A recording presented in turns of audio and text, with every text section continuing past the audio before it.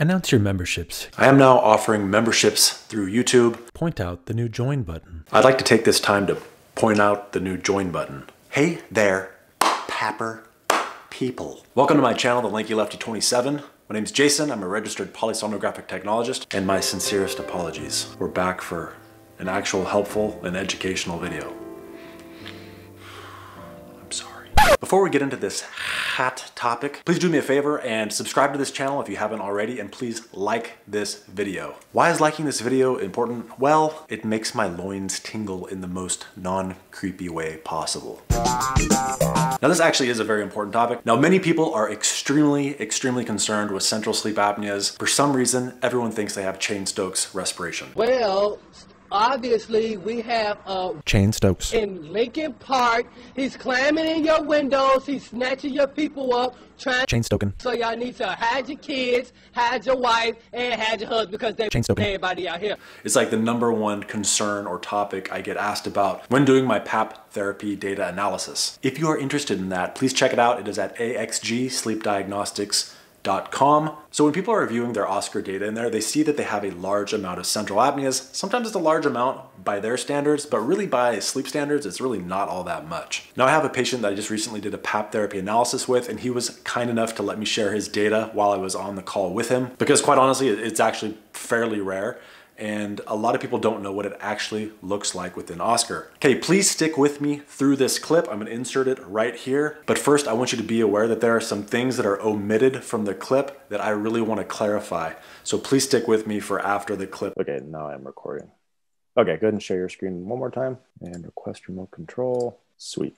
Feel free to talk, like I said, if you want or you want to clarify anything at all. Go ahead and stop me, but we are recording right now. Okay, so I'm with one of the patients that we've done an AXG sleep diagnostics review on, and we had some interesting data that he was quite willing to share with me, which is great for everyone in the community. Uh, central sleep apnea is something that's really, really, um, everyone thinks they have central sleep apnea. Everyone, everyone thinks they have Cheyne-Stokes respiration. It's a really common comment that I see. Um, so what we have here is someone who actually does have Cheyne-Stokes respiration. So let me walk you through some of what we did and I will edit all those names that were at the top right there. I saw them. so I first saw you, I believe it was, I wrote down December 23rd. Uh, you were on, or that was the day that we, we saw. So everything prior to that, you were on a, a range of five to 10, five to seven, five to nine, five to 10, all those different pressures. And what happened is your pressure was ramping up correct me if I'm wrong. They're ramping up to the point it looked like it looked like you may have a situation of over titration. I did a, a, video on one of those those people before. They had over titration. It caused it looked like uh, CPAP induced central apneas, much like this right here. So you can see if you have just one central apnea, or in this case, these are central hypopneas. If you have just one, two, three, really not a big deal. It's when you run across a series of these that last five minutes or more, and you can see this one lasts definitely much longer than that. The whole pattern remains there, uh, more or less the entire study. The only time these go away, or I should say the, the entire recording, since this isn't a study. Uh, it'll last the entire night, with the exception of REM sleep. It'll go away, but you'll see this pattern night to night. I mean, every night it's going to be doing the same thing. So we're going to call this patient. We'll we'll call you Baby Jesus. Is that okay? okay, we don't have to call you that, but um, what we had is, is this happened every single night. So what we did is we decreased the pressure. We decided to try a trial of trying as low a pressure as we can to make sure that these are not CPAP induced. So we started with five centimeters of water pressure, which is right here. You can see it's fixed. And we had the exact same response. Cheyne-Stokes pretty much the entire night with the exception of uh, periods of likely REM sleep. So you'll see up here the pattern will go away most likely this is REM sleep. In fact, that does look like REM breathing, where you see uh, rapid oscillations in breathing, where then it slows down, and you'll see kind of a very much slower waxing and waning, but not the rhythmic waxing and waning that you'll see right here, where all these are more or less the exact same distance apart. Uh, this persisted every night, so we're pretty confident in saying that this is not CPAP induced. Five centimeters of water pressure is extremely low. So uh, where we are now is um, man, I would love for you to share your side of this if you want. but where we are now is um, it's pretty clear that there's Cheyne-Stokes respiration. The problem is uh, usually when these are insurance driven, you get a scenario where they're not going to want to pay for an ASV machine just because you said so. Just because you said you have Cheyne-Stokes respiration, they're not just going to fork out like 3,500 to five thousand dollars to buy a machine for you. They want to do their own testing, and any doctor that you go to is going to want to do their own testing in their own lab or whatever lab they're familiar with. They're going to want fresh data, even if you just had a sleep study a month ago. So that's where the problem comes in. So now, uh, baby Jesus here is going to have to go to a physician. Um, actually, you already did go to a physician, and they did say we want our own, we want our own, uh, our own data. Um, what this is going to show is you're going to fail CPAP again because I mean you're using CPAP every night. You have the exact same. We can we can run through these. This is all of December. We see the same pattern emerging. We don't need to zoom in on all of them, but the same pattern of Cheyne-Stokes every single night on five, on seven, fairly low pressures. Um, what's going to happen is then they're going to they're going to try you on CPAP in the lab. You'll fail it because you're failing it here. They'll put you on bi-level in the lab um, they'll probably try spontaneous, then they'll try timed. Timed is more of a ventilator where it forces you to, to inhale and exhale at set intervals.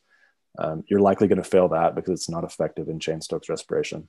And then eventually they'll try you on ASV. That'll probably be either two or three studies down the line. Um, and then those settings are so open-ended, it'll it'll fix you right away, and you'll wonder to yourself, why didn't we just try this the first time? Um, so that's where we are. And you shared with me. I'll share it since uh, you may not want to talk. Um, another physician who is more of an online physician you're going to try to work with that person because you do need a physician's um, order or a, a, prescription to get an asv you can't just you can't just get one from a from super tech here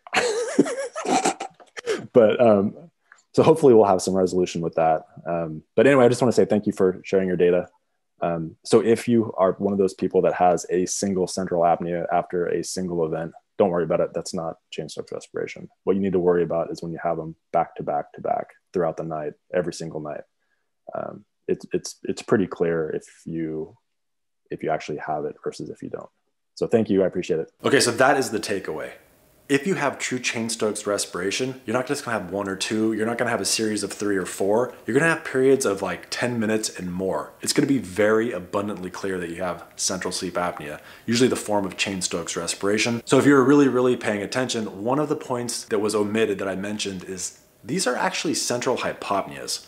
Now, some of the nights he had, uh, he went into periods of central sleep apnea where the breathing fully stopped and you actually had central apneas, but many of his were central hypopneas. Now, how do I know that these weren't obstructive hypopneas? Well, an obstructive hypopnea has a very distinct form to it. So as it's going along, uh, it'll narrow, narrow, narrow, narrow, and then it'll spike up extremely fast because that's the person, their breathing is shallow, you actually have an obstruction, you're finally able to breathe, and then you get that really quick burst. Now, a central hypopnea has the same as a central apnea, is it slowly builds, slowly decreases, slowly builds, slowly decreases as it's moving along. You can also tell by the timestamp. So the, the crest of like the peak, the belly of one wave or of one cluster is going to be the same distance as the cluster of the next, same distance, same distance. So there's some certain markers and some things I didn't really want to get into because it's kind of getting into the weeds, but I just wanted to give a brief overview right here, right now. So the question of do you have Cheyne-Stokes respiration or central sleep apnea the answer is probably no. However, if you do truly have Cheyne-Stokes respiration, it's really not the end of the world. There is treatment for it, and that is in the form of an adaptive servo ventilation, otherwise known as ASV. All right, now if you would like to have a PAP therapy analysis with me, please check my website, axgsleepdiagnostics.com. Check the description box down below for ways you can help this channel out. And please leave a comment for me in the comment section down below. And lastly, thank you for watching. No matter how much pain I'm in, no matter how hard I try to run from the truth, I am still a thick boy. Stick it out. Even white boys got the shout. Baby got back. Thank you to anyone watching this video, but an extra special thank you to my top level Patreon supporters and a low level. Thanks, buddy, to Alan Liu, Stuart Hetherington, and Mona Swearingen. Thank you and thanks, buddy. Oh my god, I hate this feeling. I feel like I left something out of this video. And I'm gonna remember it the second it uploads. I should really write these thoughts down as I have them.